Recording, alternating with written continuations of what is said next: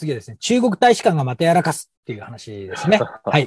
はい。えー、5月1日の NHK で、えー、などで、もう日本でも結構大々的に報道されましたね、この話は。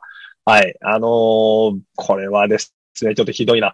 あのーまあ、皆さんご存知かもしれません。これ、中華人民共和国の中日本国大使館はいという。ことです。まあ、東京にある中国大使館ということなんですけど、そこがですね、うんツイッター上にですよ。まあ、自分たちツイッター使ってないのに、うんこの図を4月29日の午後7時34分ですか。うんはい。上げたということで、これ大騒ぎになりましさあて。、ツイッターは使ってるけど、それ中国国内でツイッターは禁止にしてるんだけども、あの、はい海外に出てる大使館、中国の大使館は ツイッターを使って必死にプロパガンダやってるというところですね。そういうことですよね。はい。NHK の記事によると、これ東京にある中国大使館がアメリカを死神になぞらえたイラストをツイッターに投稿したところ、うんネット上で批判が相次ぎ、投稿はその後削除されたと。うんあ、決して逃亡しちゃったんですね。うんはい。えー中国政府は近年自国の立場を国外に宣伝するためツイッターを活用していますが、うんえー投稿内容はたびたび物議を醸していますとはいいうことですね。これ29日、まさに天皇誕生日の夜にやったとうんいうことなんですが、あ、昭和の日ですね。昭和天昭和の日ですね。はい す。いません。すいません。我々の、僕はい昭和の人間なんで。はい。はい。えー4月29日の、はい、えー昭和の日の、えー夜7時半にこれを投稿して、瞬く間に猛批判が集まるということなんですけど、これ、中国も実はこれ、あの、気づいた方いっぱいいらっしゃると思うんですけど、元ネタがあると。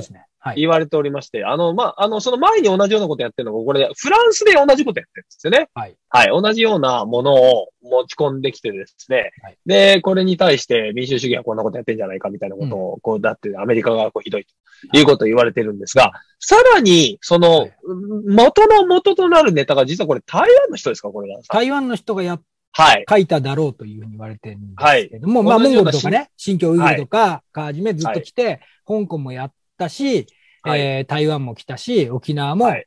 えー北海道も取るよということで、これ中国が民主主義を脅かす、えー死神なんだということなんですよね。はい。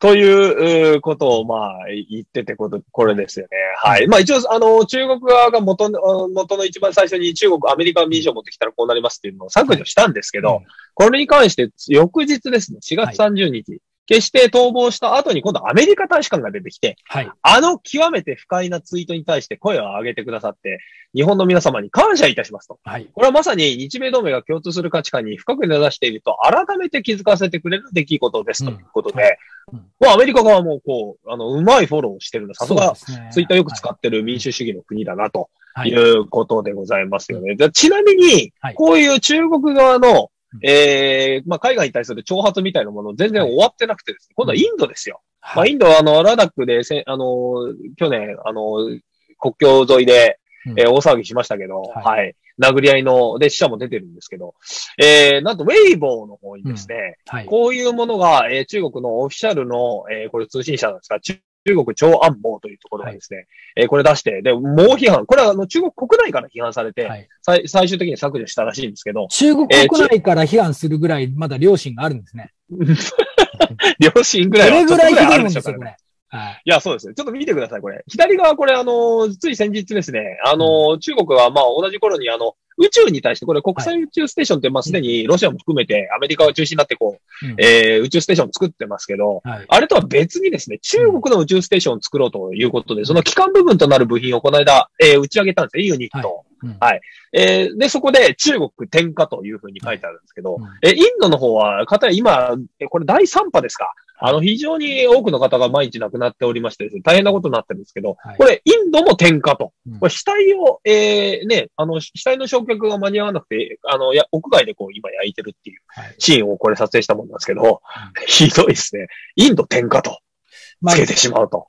そうですね。1日に40万人近く死んだりとかしてるっていう。いやいや、40万人は死んでないですよ。40万感染してるんですよ。40感染あそうそう万人死んだら。大変ですか感染してるっていうことですよね。はいはいはい、そうです、そうです。はいはい。いや、これ大変な状況になってる。はい悲惨なところの、まあ、あの、あね、まああの、遺体を焼いてるところですね。感染して死者が増えてるから、うんえー、あの、えっ、と、焼却所がなくて、今、はいあの、外でね、どんどん広げて焼いてるっていう、その、その着火を言ったっていうことですね。そうですね。中、中国転火、インド転火でこういうみやり方すんのかよって話ですね。はいまあ、引金がないというか、が、はいあーとんでもない状況になってるなっていうのはよくわかるんですけど、僕やっぱりこれ言いたいのはですね、あの、なんていうんですかね、自由な発言をするやっぱ文化とかセンスが、はい。やっぱあの国の人たちってうんなさすぎるのかなというはい。ところですね。はい。まあ頭がいいとは思えないゲスっぷりというかですね、はい あの、感情ようがないですよやっぱり、そう。で、あの、あの、この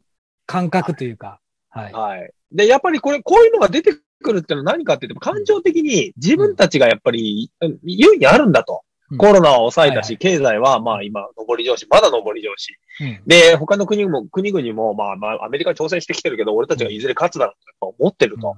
そういう、なんていうんですかね、あのー非常にこれ俺たちできるんだっていううん。過剰な自信がこういう下品のな、下品な、はい。品のなさが絶品であるという状況に今繋がってるのかなという、小学生の喧嘩みたいな感じですそれ以上でしょ、これは。ちょっとこれ文化が違いますよね、こういうやり確かにね方する。と。あーこれ大の大人がやってるんですからね。はい小学生だとすぐ何かあったら死ねとか言うじゃないはいですか。はいはい。そういう死ね以上でしょ、これは。うん、まあそうですね。まあ、死ね以上っていうか、まあそそう言ったらそうですね。はい。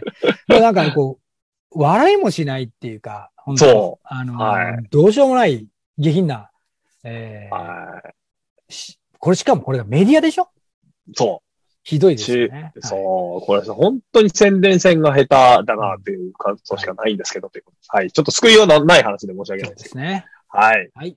新しいですね、音声講座ができまして、ええーハイブリッドウォーなのか、あーこれね SLS の情報戦なのかという、次の戦争はこういう戦争になるだろうというね、えー濃いですね米中二重戦争にはい、濃いですね、これは。今回備えは。の6番ができました。